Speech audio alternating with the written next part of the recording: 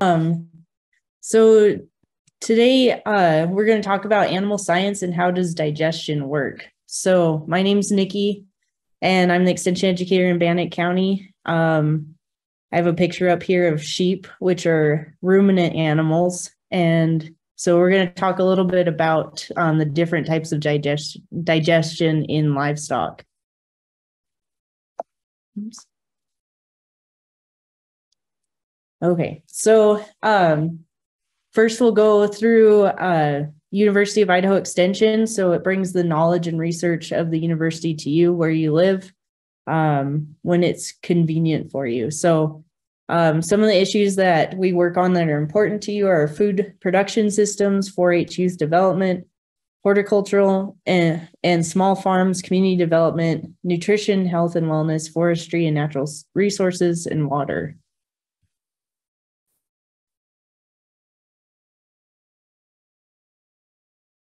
So then it's going to play um, a show uh, or a video for you for 4-H.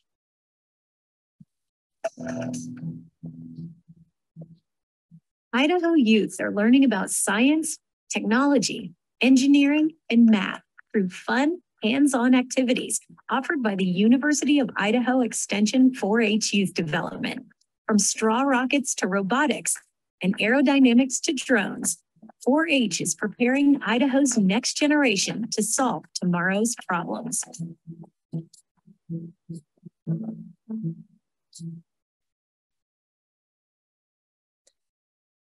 Okay, so um, just a little bit about me. I work in Bannock County, which is in the Eastern District of Idaho.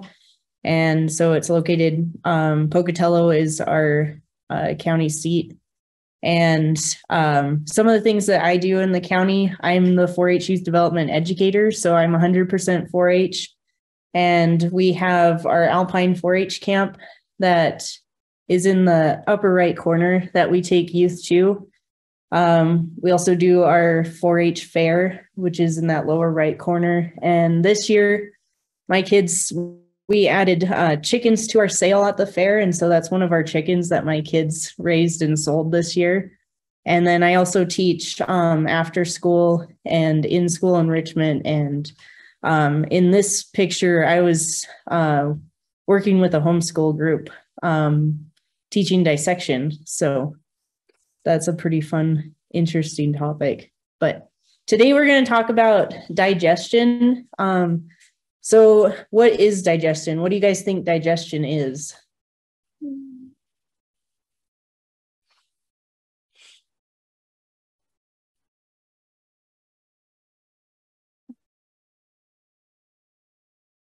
anybody have anything? Okay, so um, digestion is what takes place when some an animal um, they eat food, and so it starts breaking down when they start chewing it um, right at the beginning. And so that's the process. It's broken down into smaller units that the animal can use to use for muscle or like protein, and it uses to gain fat or um, other things that it needs to absorb into its body system. So, yep, breaking down what is taken in. Thanks, Summer. Um, so there's two um, major types of digestive systems in livestock. So I have them up there, monogastric and ruminant. Um, and we'll talk about those in a little bit, uh, but we'll go back to what are the five uh, major functions uh, that the digestive system performs. Um, can you think of them? So the first one is is taking in food, which Summer um, wrote down first um, and then then what else do you think are the five major functions?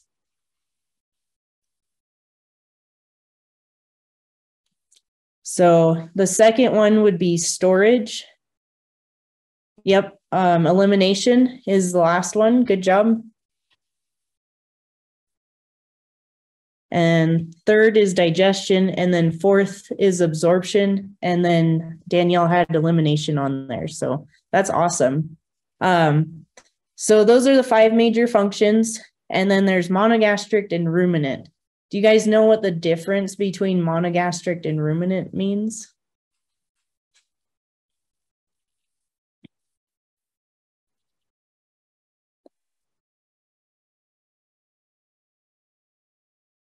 So we're going to go to the next slide and hopefully that'll explain it a little bit better. So ruminant are cat like cattle or sheep.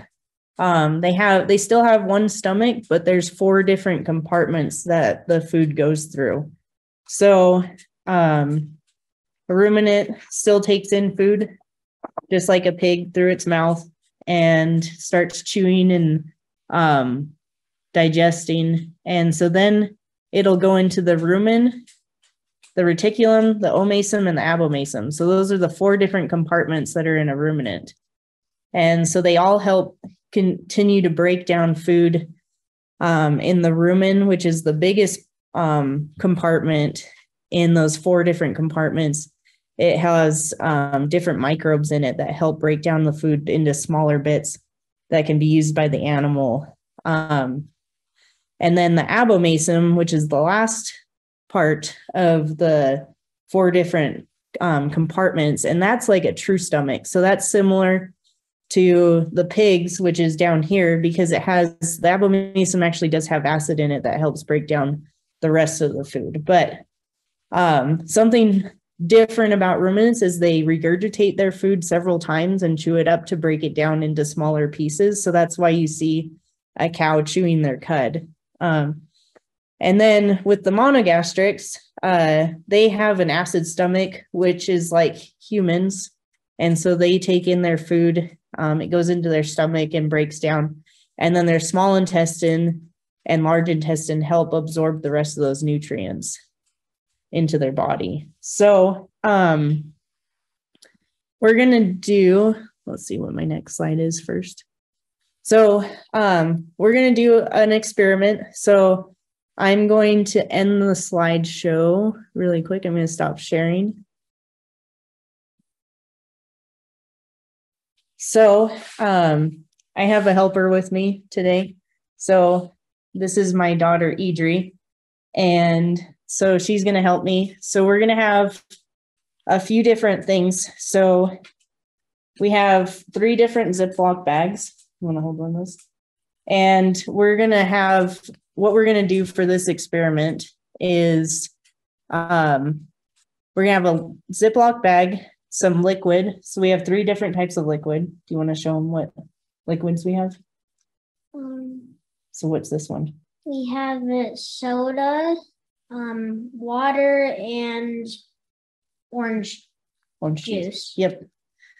And so, and then we have um, pieces of bread that we've sliced and quartered so that we're going to put one piece into each um, Ziploc bag. So, what do you guys think the Ziploc bag would represent?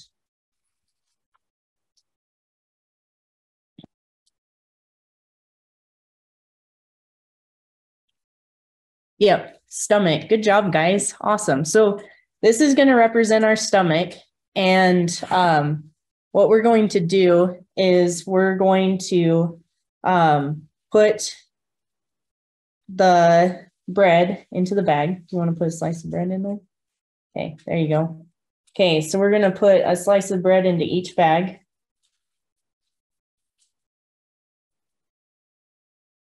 So what do you guys, what does the bread represent?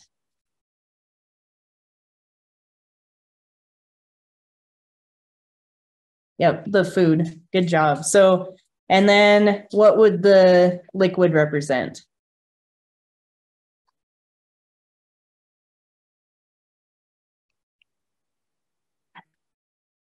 Yep, stomach acids. So for a monogastric, it would represent the acid in our stomach.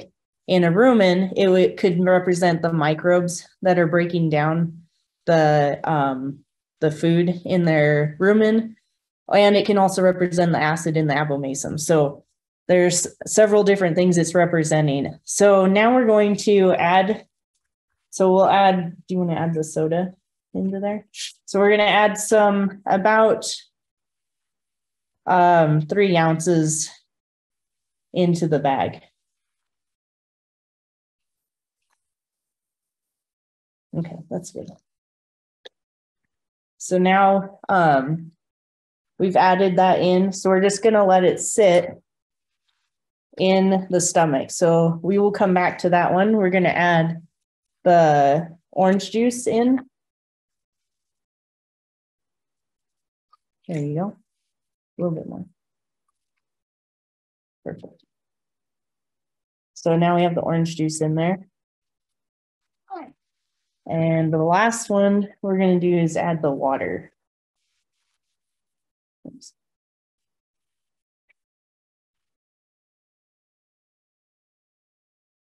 Okay.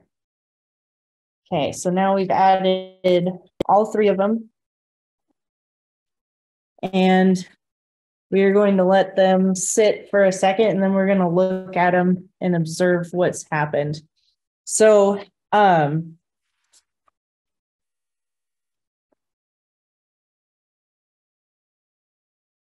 yes. Okay, so we will go back to the soda. So I don't, if you guys can see this, what do you think has happened to it? Has anything changed? If anything, it's gotten more soggy, so it's so definitely soaked up the liquid. Um, the orange juice, kind of made the bread turn orange, and it is really soggy. Um, it's more soggy than the soda. And then this is the water. So um, it's definitely soaked up the all the liquid. So um now I'm gonna have Idri, I'm gonna have her squish and squeeze the bag. So I'll have you lift that one up and then squeeze it. So this is kind of like the stomach. Yep. So this is like the stomach is working um to help break down. So the muscles in our stomach help break down the food. So that's what her hand is representing right now. Okay, I'm gonna try squeezing that one. So we're gonna squeeze the orange juice. See what happens with that one. There you go. Okay, and now this one is the soda.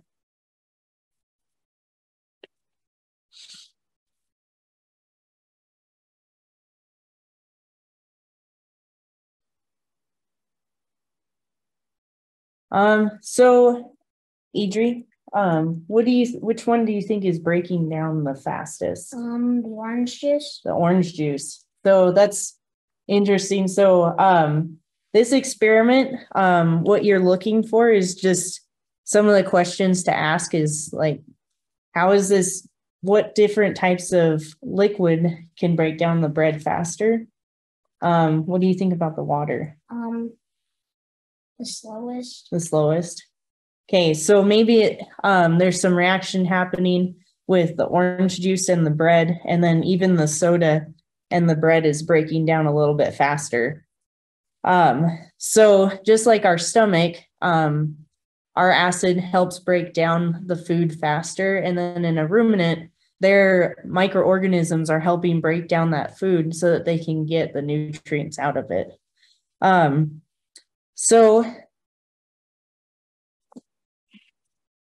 um, the next thing, so um,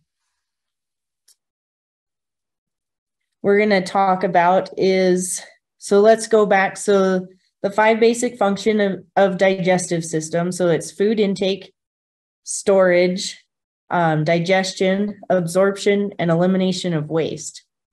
Um, so with this, we can look at um, this experiment is great because um, it's a good hands-on just to see how things are digested once they're intake, once you intake them into your body. Um, and so you can show exactly what's happening. Um, and that water definitely didn't break it down as easily as the orange juice and the soda. Um, so uh, we talked about this a little bit. So what type of digestive system do humans have?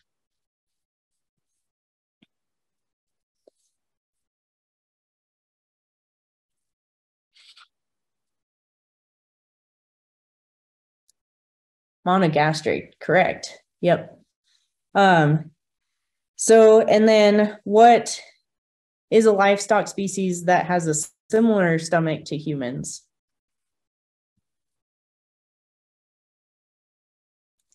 Um, horse, kind of. They have a little bit different digestive system, but that's um pretty close. So a pig, that's a really good one. Um, horses, they actually have a cecum that helps kind of digest more similar to a ruminant. So um, their digest- digestive system is a little bit different, but um, somewhat similar. Uh, it's it's kind of in between a monogastric and a ruminant.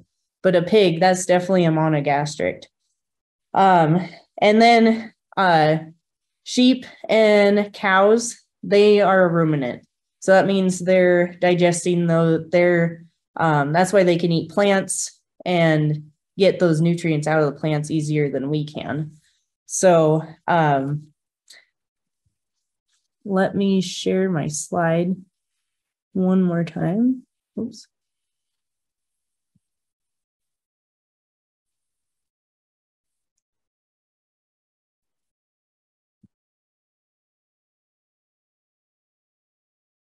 So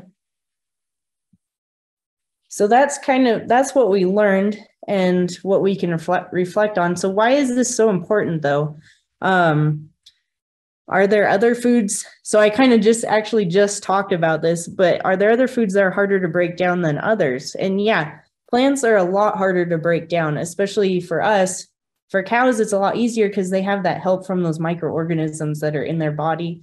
And they're actually doing the hard work for the cow and breaking down that cellulose um, and that plant material that's really hard to break down for for even us. So we don't really break down that stuff as well and get the nutrients out of it like a cow or a sheep does. Um, so I guess that kind of leads into why do ruminants have four um, compartments and monogastrics only have one?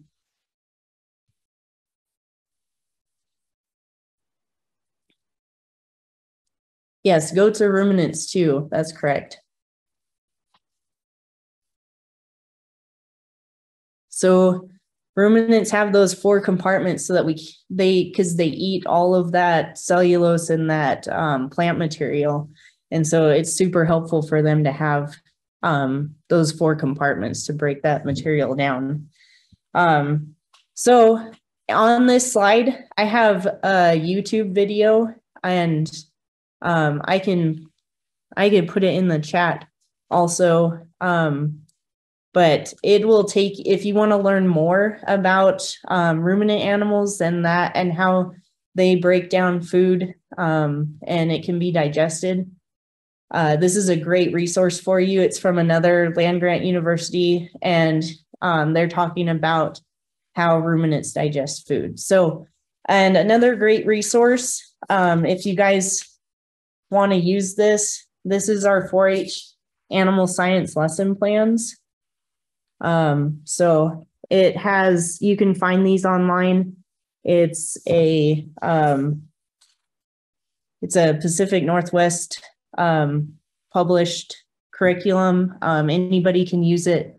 It's free online, and the lesson plans go through everything from the supplies, your preparation, and exactly what you would talk about during the lesson, and then um, further information if you want more resources. So they're great activities to use um, if you want to learn more about animals. So I will share my slide one more time.